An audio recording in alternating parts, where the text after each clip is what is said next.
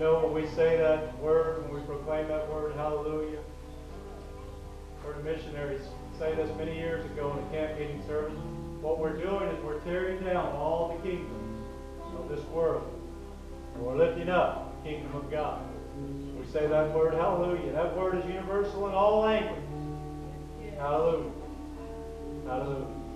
He's worthy of our praise. He's worthy of his kingdom to be lifted up and all other kingdoms to be dethroned there's any kingdom that set itself precedence over God in your life, anything that has made itself king in your life, it's time to dethrone it this morning as we come into a sanctuary and lift him up to know that he alone is worthy of our praise. He alone is worthy of glory and honor, and majesty and thanksgiving. Isn't it good to be in the house of the Lord today? Amen. Good to see you in the house of the Lord this morning. Good to be in God's house. Good to have Sister Sherry back in service with us goodness to see each of you in God's house ready to worship the Lord. See some visitors here this morning. Good to have our visitors today. Good to have you young men with us this morning. And all of you that's come to worship with us this, this morning. Let's just give God glory and honor and praise in the house of God. Stand with me this morning as we dismiss our Sunday school hour and go into morning worship. Let's just worship God today. Let's just praise Him and magnify Him and glorify Him. And uh, just had a time last Sunday. Enjoyed Sunday morning service. Enjoyed. I enjoyed preaching Sunday night's message so much. I preached it again Wednesday night, just before start, uh, service was to start at Southern Hills. Brother Jones asked me if I'd like to preach. I didn't get a chance to answer, and Brother Tim said, "Sure, he will." so I preached Wednesday night there at Southern Hills. Preached the same message. I preached on Sunday night and I had to tame it down a little bit because it was Wednesday night. Uh, I was supposed to be teaching, and I told Brother Jones out there, I got started, I forgot to tell you, I don't know how to teach. All I know to do is preach. So we had a wonderful service there. I feel like some folks were helping that message. What a wonderful uh, message the Lord laid upon our heart. I wish somebody's soul would catch on fire. Your soul's still burning this evening, this morning from last Sunday evening, still burning with that fire and that desire of the Lord. Uh, what a mighty God we serve. Let's go to the Lord in prayer as we enter into our worship. Let's enter into His courts with thanksgiving and praise.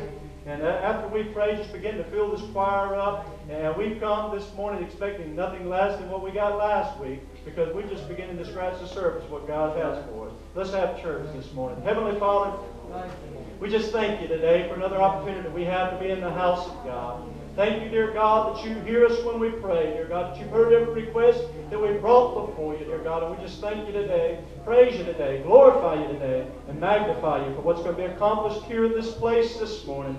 Lord God, we just give you honor and praise and glory and majesty for all your many blessings that you're going to bestow upon us. And on everything that we say and everything that we do, we'll give you the honor and the glory for it. In Jesus' name, amen. Let's join in the choir this morning. Let's sing for the glory of God.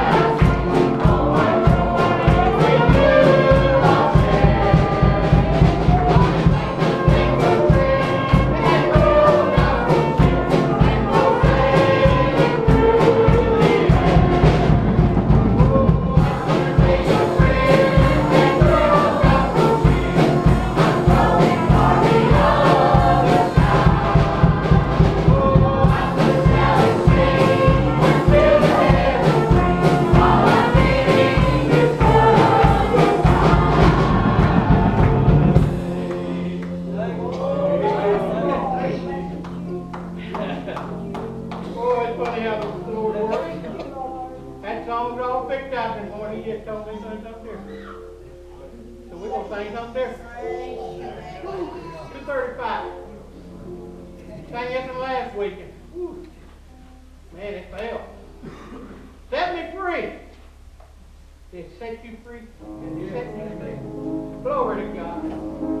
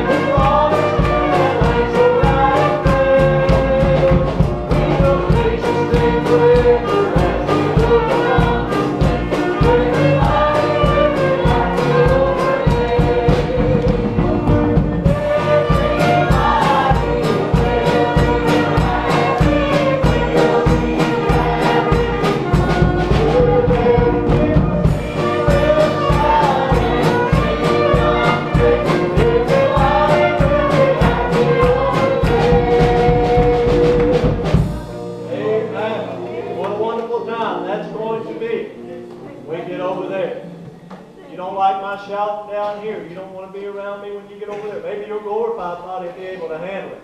But I'm looking forward to that day when I enter into the presence of Jehovah God Almighty. What a wonderful time. Everything that we've press for, everything that we strive for, everything that we long for, as the Sunday school lesson this morning, everything we intended for, serving God and drawing closer to Him intentionally, making that decision. I want to be more like Him, more in His presence, more what He wants me to be. Matured in the Lord, perfect in Him, striving for that. As we strive for that and push for that, that's going to come to pass one day. We, we can't, this mind can't begin to fathom that. See, we're, we're longing for it. We're looking for it. We're like Paul said, we've got our eyes on the prize. We've got a made up mind. We can testify we can say things like Brother Jamie said last week. I don't care if it's by way of the rapture or the grave. I'm ready for it. But we can't begin to comprehend in our mind what it's going to be like when we get over there. These songwriters, they, they try to do it, man, it excites us because it's, it's as big as we can get it. We put words like amazing and fabulous and fantastic to try to describe it. We can't begin to comprehend and understand what it's going to be like when it unfolds before our eyes. When we step from this mortal, this carnal, uh, we step from all the sorrows and struggles and hardships, uh, and we step across that threshold of glory. When we step in there, no more sin, no more pain, no more struggle, uh, no more conflict. I'm telling you, that's happiness, church. Uh, there's going to be a joy that overfloods our soul. It tells us there'll be no need for light, for Jesus Himself will be the. We can't comprehend that. We can't wrap our mind around that. But we won't have to. When we do, there's going to be the glory of God that fills our soul. There's going to be running. There's going to be shouting. There's going to be singing. It's going to be a Pentecostal service when we get to heaven, I guarantee you. What a wonderful time it's going to be. That's just going to be in my mansion.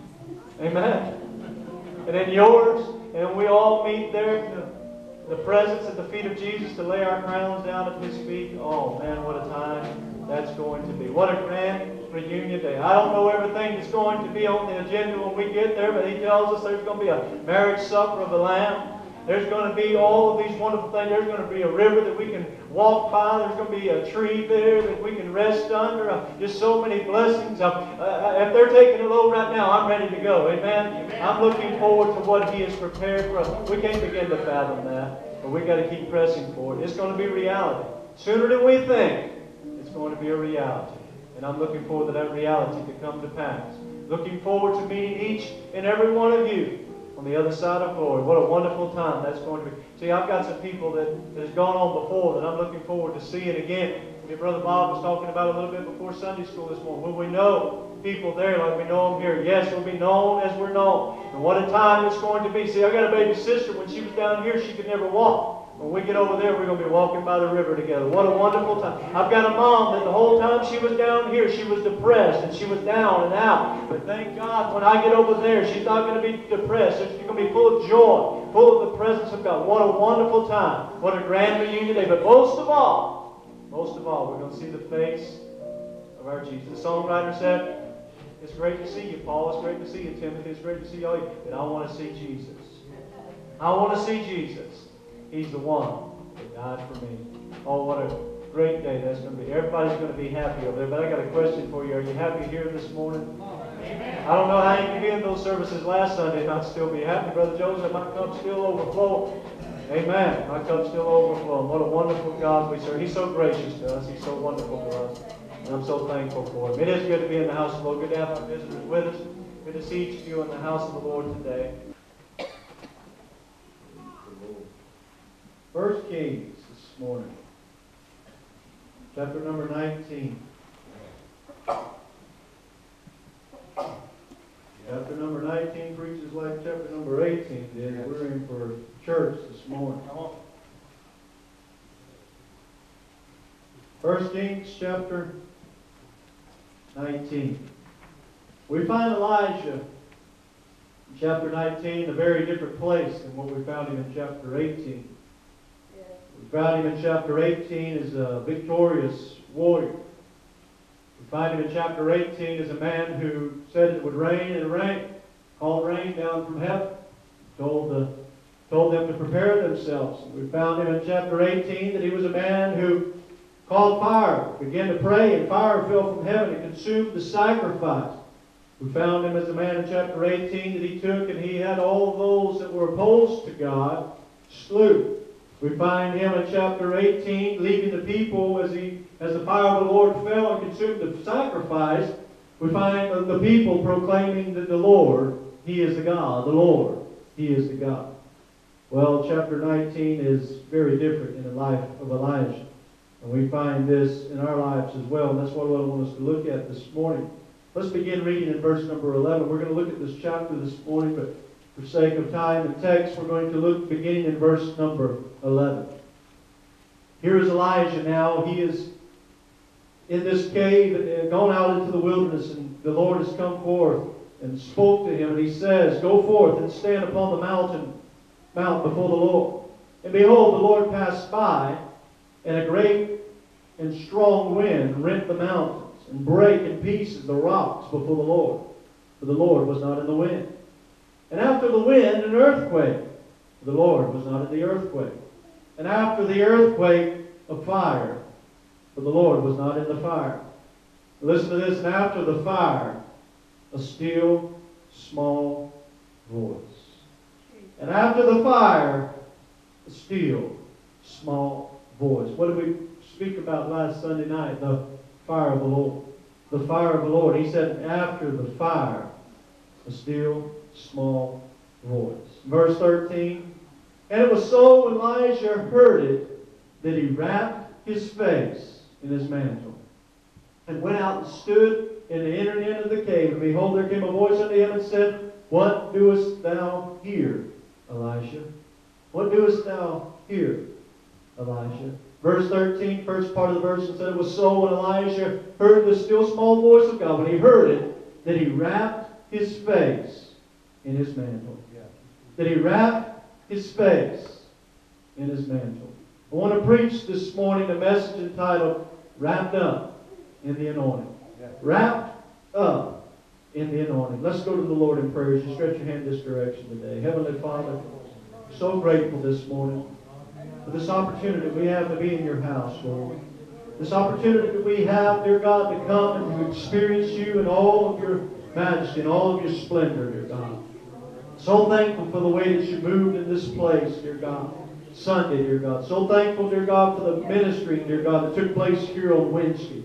Oh, Lamb of God, but those days are behind The Sunday is gone. Last Sunday is gone. The Wednesday is past, but now we're here, dear God, needing a fresh touch of the Master's hand in this place today. No doubt for some the week has been long. No doubt, dear God, the struggle has been great. But today we come needing a fresh touch from the Master's hand. And I pray, Heavenly Father, there be fresh bread found in the house of the Lord this morning. I pray, Lamb of God, there would be refreshing, dear God, that would take place in hearts and lives. Oh, today in this place. I pray, God, for an anointing, dear God, that's greater than we. Oh, Lamb of God, to begin to saturate every heart, every life, dear God. I ask you, Heavenly Father, to anoint us with a mighty anointing, that we may receive what you have for us in this place. We'll give you the praise and the honor and the glory for it. In Jesus' name. Amen. You may be seated. So said, we find Elijah in a very different place. In a very different place than we found him in chapter 18. Let's look at where we found him in in chapter 18, Elijah came unto the people and said, How long? Verse 21. How long will you halt between two opinions? If the Lord be God, follow him. But if Baal, then follow him. And the people answered him not a word. So we find Elijah here standing up, proclaiming uh, that, that he is serving the one and only God. And he said, You need to make up your mind which one is God and follow him.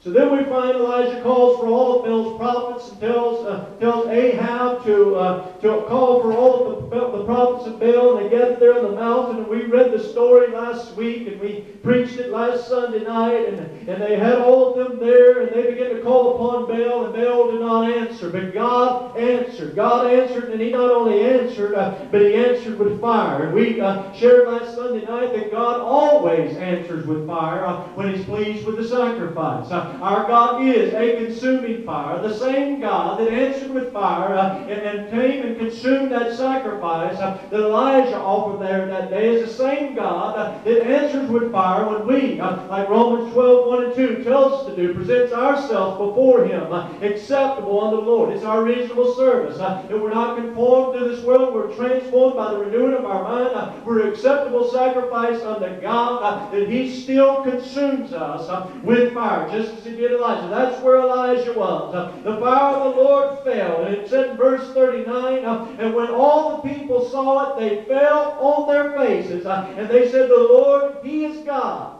The Lord, he is God. And in verse 40, we stopped at verse 39 last week, but verse 40 says, Elijah said unto them, Take the prophets of Baal, and let not one of them escape. And they took them, and Elijah brought them down to the brook Kishon, and slew them there. Now Elijah stood very bold before Ahab. Elijah stood very bold before the prophets of Baal, uh, and he proclaimed what the Lord had told him to proclaim. Uh, he prayed that prayer, Hear me, O God, hear me. Uh, and when he did that, the fire fell. Uh, the sacrifice was consumed. Uh, the hearts of the people were turned to know uh, that the God of Elijah was the God. and they began to proclaim that. and he tells us here that in his boldness and in all of his integrity, that they took those prophets of Baal and they slew them. Elijah said unto Ahab, Get thee up, eat and drink, for there is a sound of abundance of rain. So the same man that just uh, prayed fire from heaven, uh, he, after all this drought, uh, he began to pray again, uh, and he began to tell Ahab, Get ready, I've already prayed, and the Lord's going to send it. There's a sound of an abundance of rain. And the rains came, and they flooded that place.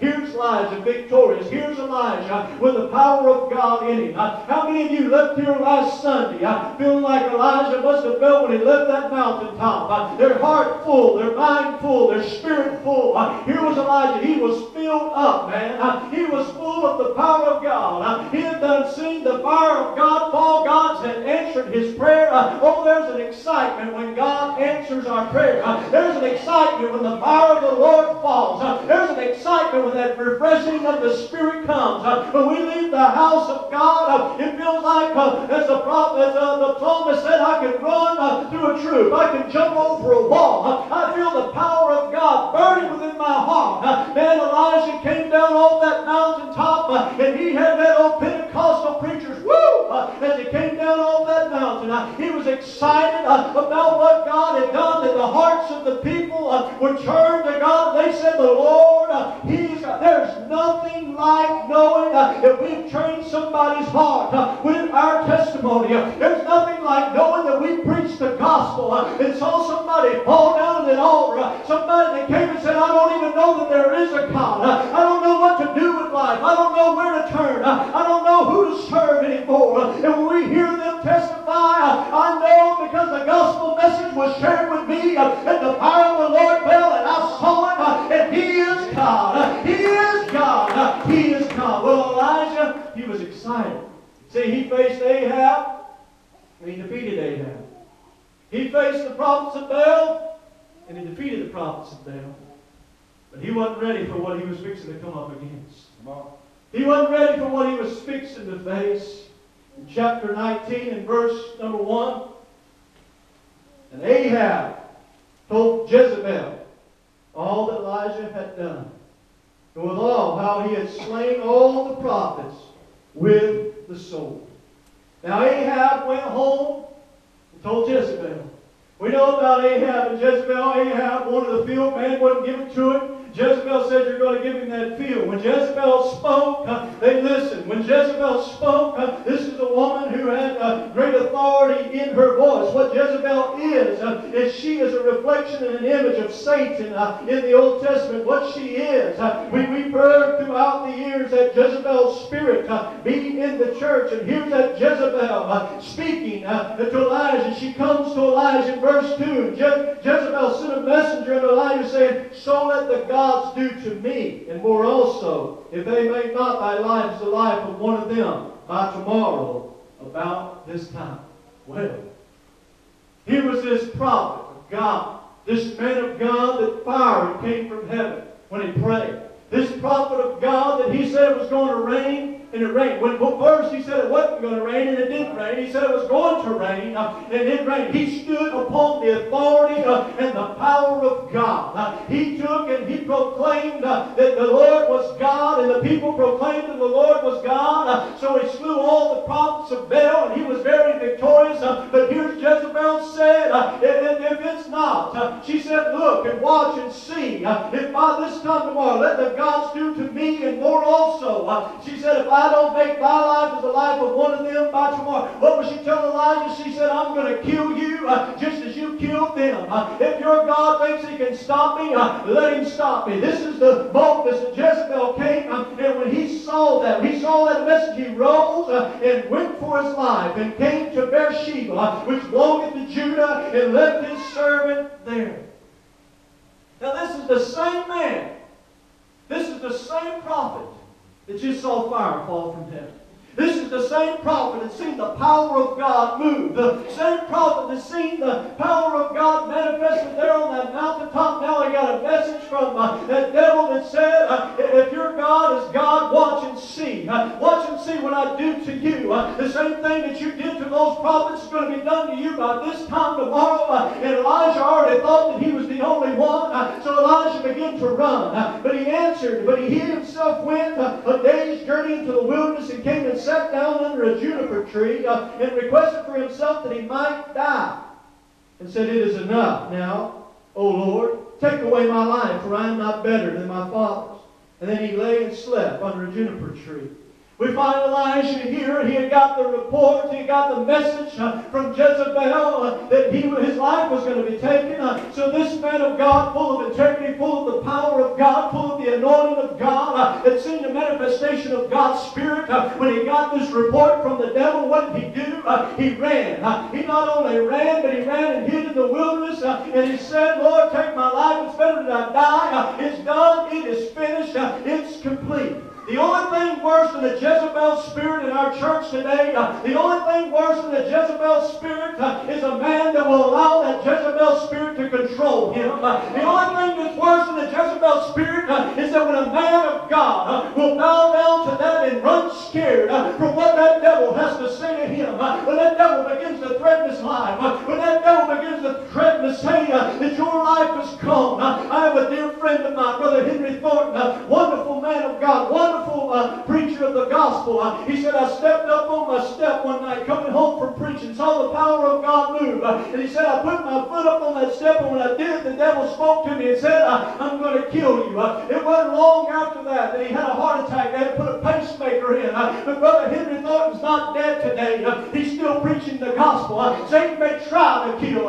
Satan might try to send those messages. but remember, child of God, that nothing come to you unless it first came through God. and devil can roar. He does as a roaring lion, uh, seeking whom he may devour. He's got a lot of messages. Uh, he's going to whisper in our ear. Uh, he's going to bring discouragement. He's going to threaten our life. Uh, he's going to tell you, better stop preaching that. He's going to tell you, if you keep preaching that, you're going to be dead. If you keep preaching that, they're going to starve you out. If you keep preaching that, you're going to suffer. I've heard of pastors say that people told him, I know when you go to the office. I, I know when you're alone. And his wife's so scared that she was looking under the car to make sure there was not a bomb strapped to it. It's how scared this family got uh, because they proclaimed the word of God. The devil may roar, the devil may rage, but here's this man of God that had seen the fire of God fall. He's here under a juniper tree saying, Let me die. Let me die. The fire could fall this week, and then by next week we could find ourselves in that same place. Some of us get familiarized with Elijah. Oh, we saw the power of God move in this place last Sunday. And then during this week, there's things that come against us. And we begin to even think, man, I'd be better off dead. The devil's trying to kill me anyway. The devil's trying to stop me anyway. Uh, the devil's trying to prevent me anyway. Uh, the devil's trying to hinder what I'm going to do anyway. I'm not going to be able to do anything for God. Uh, he said by this time tomorrow I'm going to be dead anyway. Uh, and Elijah began to say, Lord, why don't you go ahead and take me? Uh, it'd be better off that I was dead. It'd be better off that I was dead. He fell asleep, and behold, the angel touched him and said unto him, Arise and eat. And he looked, and behold, there was a cake baked on the coals, and a cruse of water in his, in his head. And he did eat and drink, and laid down again. The angel of the Lord came again the second time, and touched him, and said, Arise and eat, because the journey is too great for thee. And he arose and did eat and drank, and went into the street of that meat forty days and forty nights. So that tells me he wasn't dead the next day. Forty days and forty nights under Horeb, the Mount of God. And he came thither unto a cave and lodged there. Now here is Elijah. He ran into the wilderness, and God sent an angel. God sent an angel with provision for him. God sent an angel with a cake for him to eat and water for him to drink. Uh, and it said it sustained him for 40 days. Now we come from that mountaintop experience where the fire of the Lord falls, souls are being saved, uh, lives are being touched, uh, that victory in our life, that victory in our ministry, uh, and we find ourselves maybe as Elijah in this wilderness. Uh, here's God. He sent an angel to Elijah. He prepared for him. He gave him uh, uh, food to eat, water to drink, and he went in the strength of that for 40 days. He, he, went by that strength that the angel provided for him. there's times in this spiritual walk that we'll be in the wilderness. Uh, and there'll be times in this spiritual walk, maybe even after mountaintop, uh, that we're running scared, just as Elijah was. Uh, maybe you're there this morning. You're in that wilderness, uh, running uh, because you're scared, running because you're fretting, uh, running because you think you're the only one, running because you don't even know if it's worth it anymore, running because it don't matter what you saw yesterday. That's in the past. That's gone. you're saying, I need something today. and Lord, it looks like I'm the only one. it looks like I'm all that's left. I don't even know if it's worth it anymore. That God will send fresh bread for you. That God will send water and refreshing for you. Just as Brother Buster shared in this marathon that we're running, every times of refreshing, God send that angel down. And God may be sending that angel to you this morning. If you're in that wilderness place, saying, Here I'm prepared for you. Here I'm prepared for you something that will keep you going just a little bit longer. Yeah. Just a little bit longer. That's just what it did. It kept Elijah going a little bit longer. But he went deeper into the wilderness.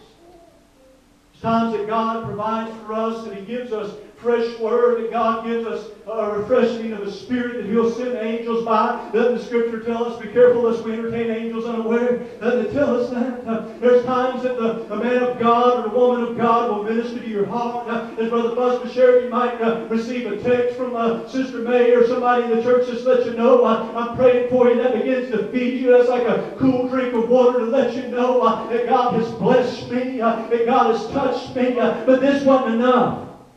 This wasn't enough for Elijah. And he went deeper. He went into a cave. He went into a cave. Now back then, they didn't have flashlights. They didn't have Coleman lanterns as you would have.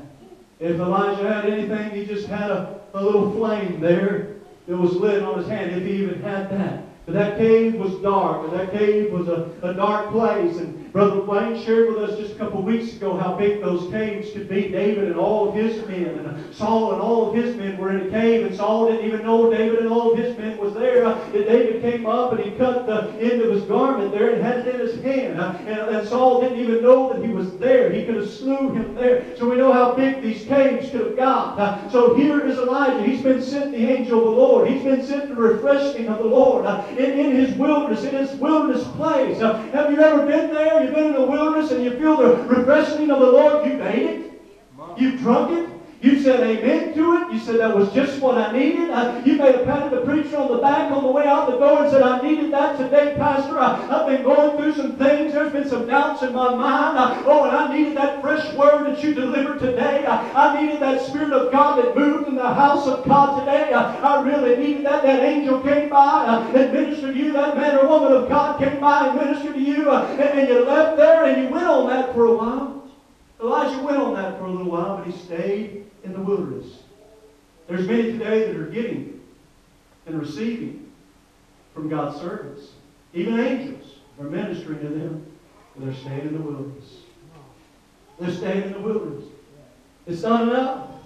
It just didn't seem to be enough, enough to, for them the last 40 days. So here's Elijah in verse 9. He came hither to a cave and lodged there.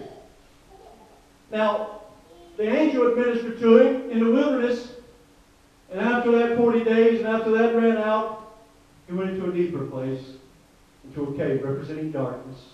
Yeah. He went into that cave where he, he sure thought that he would be hid here, he would uh, be safe here. He felt like he was running because he was the only one, the same ones that had proclaimed that the Lord, He is God, the Lord, He is God. Uh, they, were, they were calling for his life now. They were uh, on uh, Jezebel's side and calling for his life and, uh, and, and, trying to, to take him, uh, if you will, and trying to destroy them, if you will. But here is Elijah in this cave. Now the angel had already came. It says here, Behold, the word of the Lord came to him. And he said unto him, What doest thou here, Elijah? Now the angel had already ministered to him. The angel had already woke him up, gave him bread to eat, water to drink, sustained him. Now he's in a cave. So this time, wasn't an angel that came to him. Wasn't an angel that was dispatched to talk to him. The Lord said, I got to go and talk to this guy myself. I've got to go talk to him myself. And the Lord came, and as he looked around, could you imagine this? Here's Elijah in this cave, and the voice of the Lord speaking here in this cave. Said, What are you doing here, Elijah? Have you ever been there, been in that funk, been in that cave, been in that wilderness, been in that place where, where you felt defeated, been in that place where you felt downtrodden, been in that place where you didn't know what you were going to do, uh, didn't know what your ministry was adding up to, didn't even know what your life was adding up to, uh, didn't even know if it was worth serving God anymore anyway, uh, and then the Spirit of the Lord speak to you uh, like you did Elijah. What are you doing here? You just called fire from heaven. You just called, you just said it was going to rain, it was going to rain. You just did great things in ministry. You just, uh, it was right in the middle of what I called you to be, just standing right in the middle of it. Let me share with you this morning, there's nothing like standing right in the middle of God's anointing. Uh, there's nothing like standing right in the middle of what God called you into. Uh, nothing like standing right in the middle of God's plan. That I have found it to be, uh, uh, after all these years of ministry, I've seen it uh, in my life and I've seen it in others' lives. in that time where it seems like people are basking in the middle of what God has called them to do, uh, and the power of God moving and the power of God flowing. Uh, they're right there in the middle of it. Uh, it's not long after that they're in a wilderness experience, uh, and the devil's trying to take them out. Why is that? Uh, because when God ordains men and women to do great things, the devil's going to do everything and anything that he can do to stop it. he'll use Jezebel to try to stop you. he'll use Ahab to try to stop you. Uh, he'll use whatever he's got to do uh, to get you in a wilderness uh, because he knows if he gets you in a wilderness, uh, you'll starve yourself to death uh, and you'll begin to doubt God. Uh, oh, but thank God that in our wilderness, uh, God sends an angel. Uh, and thank God that when we get in our cave, uh, and God said, I'm going to go to it. and just as he spoke to Elijah, somebody this morning, you're in that cave.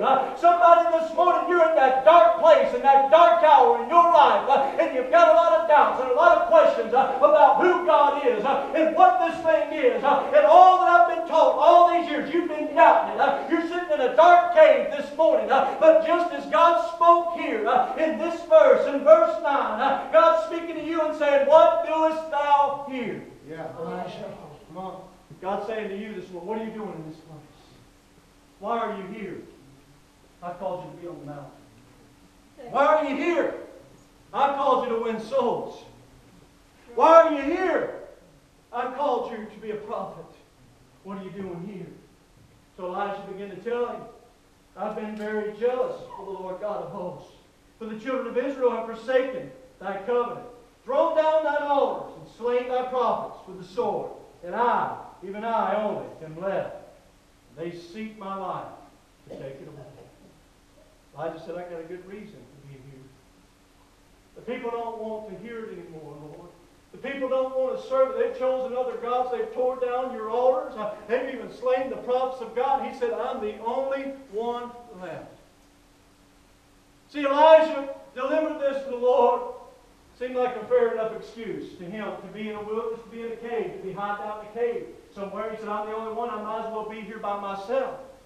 And I would hope that Elijah, uh, one uh, one commentator said that possibly Elijah went there to this place because this is where Moses met with God. This mountain that the Lord's sitting to is where Moses possibly met with God. And here's Elijah hoping he would have that same encounter with the Lord. He was hoping that he would have, how many times do we do this? We're there and, and we're in that place, we're in that dark place, we're in that cave, uh, and the Lord comes to us and the Lord begins to speak to our heart, and we want the Lord to join our pity party. Come on. Yes. Come on. We want the Lord to feel sorry for us. Yeah. Woe was me, how bad I got it, Lord. They were going to kill me, so I had to run. Mm-hmm. They were going, he said, Jesus said, this, this is red letter gospel. He said, don't fear him that can destroy the body, but fear him that can destroy the body and soul in hell. Elijah, you didn't have to fear them. Did Jesus preach Elijah a sermon? No. Did the Lord speak him a sermon there that day?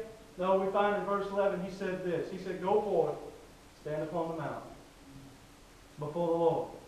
For behold, the Lord passed by.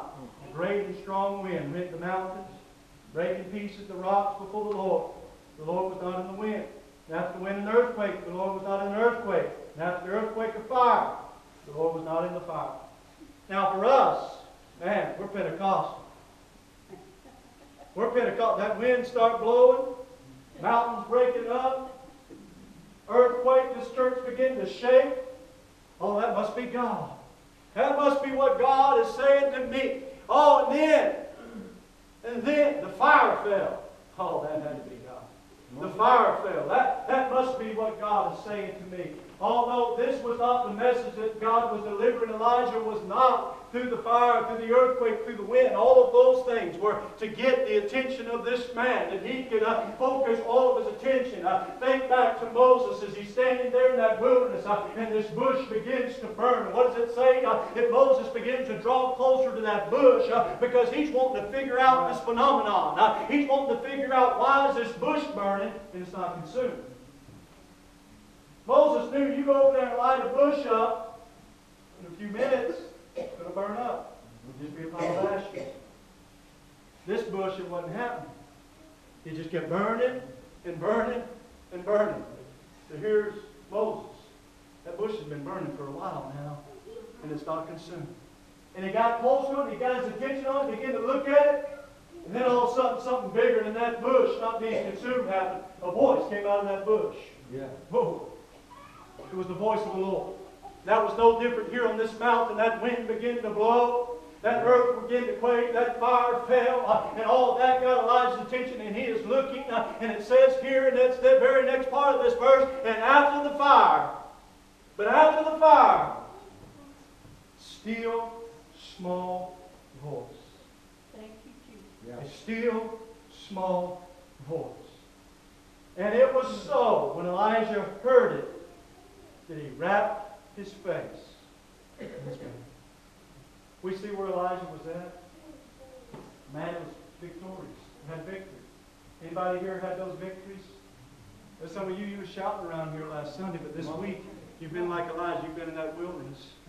You've been, you've been in that cave. God has sent blessings upon you and sent strength upon you. You made it back here this morning, but you're still saying, Brother Jamie, I'm in the cave. I don't know. I've seen people, man, they've been blessed one week, come back the next week, and, uh, and say, I don't even know if it's even worth doing anymore. I, I've seen preachers, uh, they have preached under the power of God, seen the power of God move, uh, and it wasn't just a few days later, they were talking about giving up the ministry. I, I'm thinking, what in the world uh, is wrong with this man? What's wrong uh, with these people? Because instead of uh, staying where God said to stay, uh, instead of being where God said to be, they ran. They ran. So it was when Elijah heard the voice that he wrapped his face in his mantle. I know this isn't a mantle. This, this is an old towel that Sister Amy will let me use. but he had that mantle. You know what's amazing to me about this story? Even though Elijah went through the wilderness, even though Elijah was in the cave, even though Elijah was running scared and running for his life, he still had the mantle. Yeah. You know what the mantle represents in the Word of God? Can anybody tell me what the mantle represents in the Word of God? The anointing. Should have got that from the title of my message, wrapped up in the anointing. The anointing. That mantle represented the anointing. Whether that mantle represented the anointing before this verse or not, I don't know. But we find later throughout the scriptures that that's what it represented. So here is Elijah. The fire didn't cause him to wrap his face in the anointing. No, he wanted to see that. Yeah. The earthquake didn't cause him to want to wrap his face in the, the mantle. He wanted to see that. He wanted to see the results of it. The wind blowing and all of that, that didn't cause him to wrap his face in the mantle. That still, small voice. That still, small voice of God. Says Elijah took his mantle. And he wrapped his face in the mantle. He wrapped his face in the mantle. And he went out and stood in the entering of the cave. And Behold, there came a voice unto him and said, What doest thou here? Elijah. Now that question was asked to him just a couple verses before, wasn't it? Yeah. He couldn't answer. He began to make an excuse. What doest thou here, Elijah? And he had the same answer. He said, I've been very jealous of Lord, the Lord God of hosts, because the children of Israel have forsaken thy covenant, thrown down thine altars, and slain thy prophets with thy sword, and even I only am left, and seek thy life to take it away. The Lord didn't speak to him before. The Lord didn't minister to him before. He told him, Go to the mountain. As he went to the mountains, we read that the wind blew, that the earthquake, that the fire fell, and after the fire, a still small voice, uh, and it caused Elijah to wrap his face uh, in the mantle. It caused him to wrap his face in that mantle, wrapped in the anointing. Uh, and when the voice of God speaks to us, Brother Joe, it's going to cause us to do the same thing. Uh, to say, Lord, I realize uh, and recognize that I need to be wrapped up uh, in the anointing. I need the anointing. It's the anointing that makes the difference. Uh, it's the anointing that's going to bring me the answer. There's some folks here looking for answers this morning. You've got a lot of questions. Uh, you've been in the wilderness. You've been hiding out in the cave. Uh, and it just seems like there's no way out for you. I'm the only one or whatever uh, it may be that you're going through this morning. But when that still small voice of God speaks to your heart, you're going to recognize your need for the anointing today. And as he put his face in that, uh, that mantle and he began to wrap his face, why did he do that? Why did he do that? So he wrapped his face in that mantle. See, with my face wrapped in this mantle, not only can you not hear me, but with my face wrapped in that mantle, I can't see anything. Right. With my face wrapped in that mantle, I have a hard time hearing what Jezebel has to say to me. When we get ourselves all wrapped up, I'll just wear it like this. When we get ourselves all wrapped up in the mantle, we get ourselves all wrapped up in the anointing. See, there's something about being in the presence of the Lord. He said, It's not by might nor by power, but by my spirit, uh, saith the Lord of hosts. Uh, and when we get into the anointing, uh, it don't matter what Jezebel said to us. Uh, when we get wrapped up in the anointing, it doesn't matter what the devil said to us. Uh, when we get wrapped up in the anointing, uh, it don't matter what the critics say. When we get wrapped up in the anointing, it don't matter if we feel like we're the only one. We'll say, I'll be the only one. I'll preach it. I'll proclaim it. When we get wrapped up in the anointing, we'll begin to hear from God. Uh, Elijah there wrapped his face in the anointing, heard the still small voice of God that calls him to wrap his face up in that mantle. Uh, it represented that anointing. Uh, church, when we hear the voice of God speak to our heart, we'll feel that anointing of the Holy Ghost of God begin to wrap us up and begin to wrap us up. We're going to get divine revelation from God, and God's going to begin to speak to us. Just as he did Elijah. He said to Elijah, Lord said unto him, Go, return to thy way, to thy way of the wilderness of Damascus. First thing he told him to do is get out of here. Yeah. Get out of the wilderness. Get out of the cave. I haven't called you to the wilderness. I haven't called you to the cave, and I have not called you to run from the devil.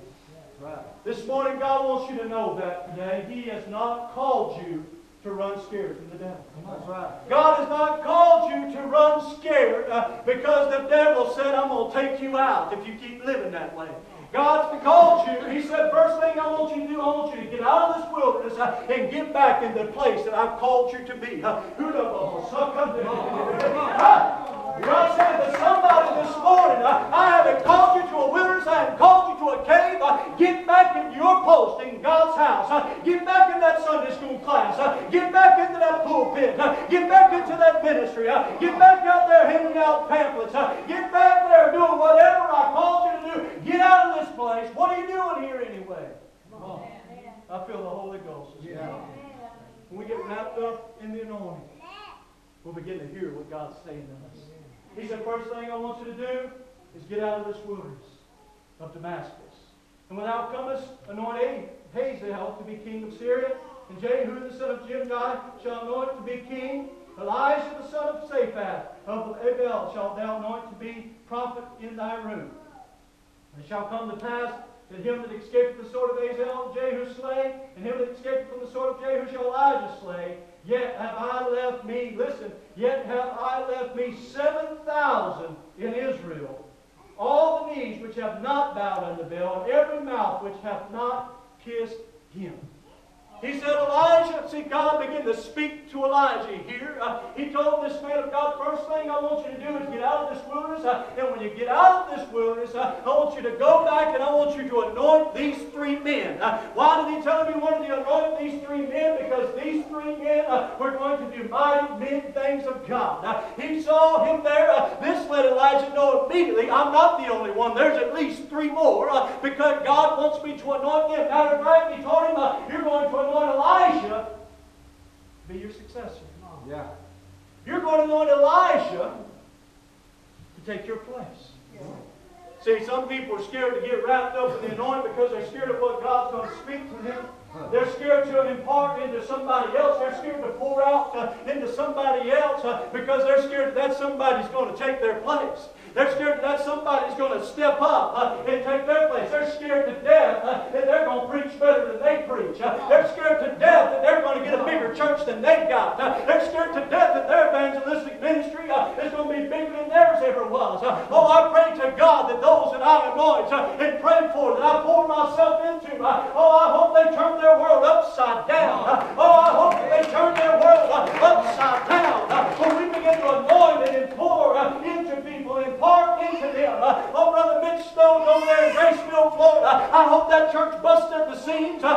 And running 500 full of the Holy Ghost. Uh, that would be all right to me. Uh, he was under my ministry uh, at one time. That's fine with me. But Elijah found out real quick he was not the only one.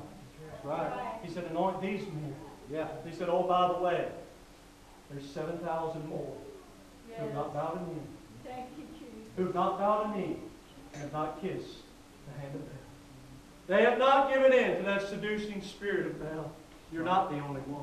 That's right. I know there's times we feel like we're the only one. I've been there. You've been there. And God said, You're not the only one. You're not the only one. I got somebody, some somebodies that I want you to take this anointing back to. You've been wrapped up in the anointing. See, God doesn't wrap us up in the anointing for us to get a feel good feeling. Say, man, that sure felt good. Wow, God don't give us services like He gave us last Sunday. And God don't give us the anointing of the Holy Ghost for us to man, that was good. I felt goosebumps on top of my goosebumps.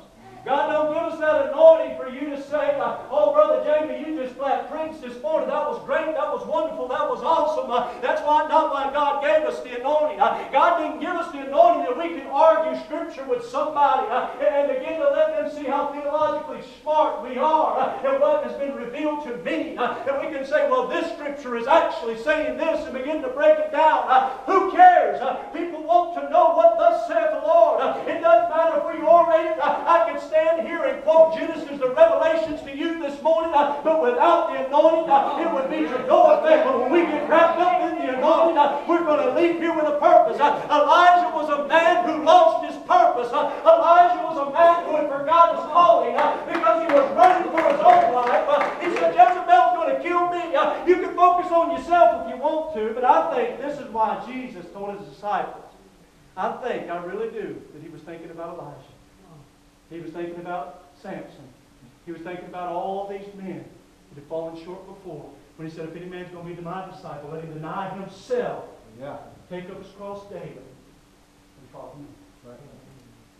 We sing that song. Forget about yourself. Concentrate on Him and worship Him. Yes. Worship Him. One man said it this way. He said, pray for your enemies. You're the one that made them. Yeah, there you go. We're so worried about our enemies. We're so worried about what they're going to do to us. You know why they're, are they our enemies? I can't think of anybody that's my enemy today because they dislike me. Because they dislike me. But I try my best to be a nice person.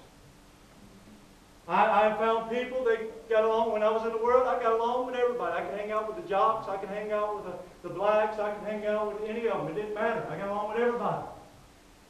Everything was great. Everything was fine. I could get along with anybody. Uh-huh. Because I didn't want them to beat me up, so I treated them real nice. I could get along with all of them.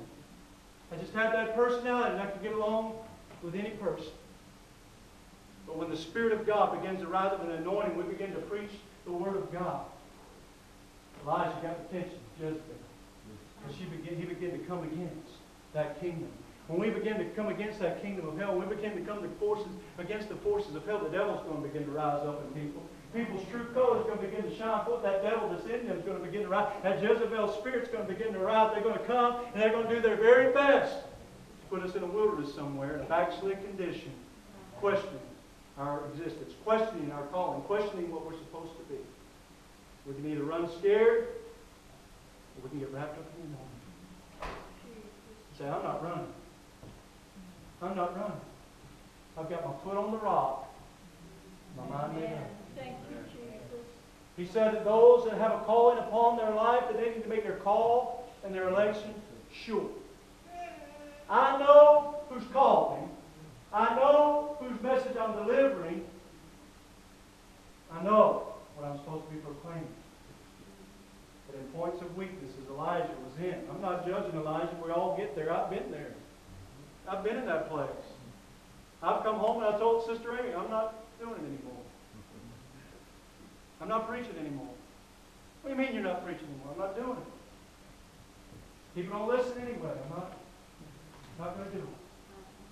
I'm not going to serve God. But didn't God call you into full-time ministry? Yeah, but I'm going to get me a job.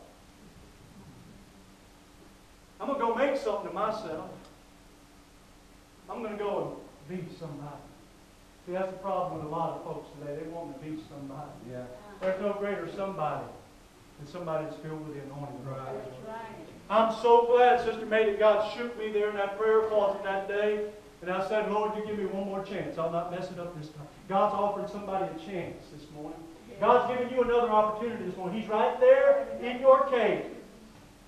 He's right there at the door. Where you thought that you were running, where you thought God couldn't get to you, thought nobody could get to you. Brother Buster said it this morning, don't matter if you're on the front pew, the back pew, the front porch, or, or wherever you're. God wants to get to you. God wants to speak to you. He's going to speak to you. It don't matter if you got a Budweiser in one hand, or Marlboro, or Camel, or whatever they smoke today in the other hand, sitting on your easy chair watching football. If God wants to speak to you, uh, He will speak to you. Uh, if God got something to say to you, uh, He will say it to you. Uh, it does not matter if you've got a bunch of junk in your ear set, uh, trying to, to drown out everything that uh, people's preaching and saying to you. I'm not listening to you. Uh, God's going to speak because it's That's that right. still small voice of God to Yeah. speak, and it's going to cause you to wrap your face Yes. in your mantle Yes. and say, "Speak, Lord." Yes. You're the only one I want to use. See, Elijah did that. He got the space in the anointing because he said, I don't want any distractions. I don't want anything. This is what this mantle represents the Spirit of God. This mantle represents the anointing. I don't want to hear anything else uh, but what thus saith the Lord. See, a lot of people give us opinions. Ask Job. Uh, they'll tell you why you got there uh, and what happened to get you there and all these things. Elijah said, I don't want any outside influence. I want to know what the Lord said. I'm going to get wrapped up in the anointing. You're looking for answers this morning. Say, Brother Jamie, you haven't given my answer yet. You're looking for your answer this morning. I said, I've asked everybody, they haven't given my answer yet. Get wrapped up in the anointing this morning. Hear that voice of God speaking, uh, and what God's going to tell you is what I'm fixing to tell you right now. Get out of this place. Come on. Get out of this cave. Get out of this wilderness, because I didn't call you here. That's right. You're not doing what I called you to do. Come on. And you know who you are this morning. Come on. God said, You're not doing what I called you to do. So quit doing what you're doing and start doing what I called you to do. Come on. Quit running. Quit hiding in the cave. Quit staying in this wilderness experience. Get wrapped up in the mantle and the anointing this morning. And you're going to hear from God. Come out of that cave this morning, get wrapped up in the mantle and the anointing, and you're going to hear from God. He's going to tell you, go and anoint others. He's going to tell you, uh, go and see, join yourself if you want to with. There's 7,000 others. He's going to call you into a place of victory, uh, and he's going to call you to anoint someone else. Uh, that when you are gone, Brother Wayne, come here for a second. Uh, and when you're gone, uh, he said, Elijah, you go and anoint Elisha because when you're gone, he's going to be your successor. Uh, when you're gone, he's going. And we read it. What what happened? Here comes Elijah. He's walking through there, and that mantle just brushes Elisha. And there's Elisha. He's, oh, that? He said, let me go back and kiss mom and dad. Let me go back uh, and take care of those things. Elijah said, I didn't do anything to you, son. Do what you want to do. It. There in the last part of chapter 19. Oh, but no, Elisha had felt that mantle. Uh, that mantle, that anointing. Uh, it, it brushed him by. That, that anointing that Elijah, just a few verses before, uh, and it's right then, he brushed up against him. Uh, He was anointed. Uh, He said, I'm going to sell everything. I'm going to go boil my ox and burn my, my yoke. I'm going to get rid of every bit of it because I feel a calling. Oh, if somebody's soul would get wrapped up in the anointing this morning, uh, we think I'm the only one. We think it's all about us. We think it's just our ministry. We think it's just our lives. Somebody is waiting on you this morning come down with that anointing. to express it this morning, feel that anointing rush up against us and say, what the world? I felt something in this place. The world? I felt something move. Just the. Just the. Yeah. See, Elijah I'm the only one. No, son. You're not the only one. I've got something I want you to anoint. And I've got 7,000 more who've not bowed a knee. I've got 7,000 more who've not kissed the hand of Baal. I've got others. Who does it?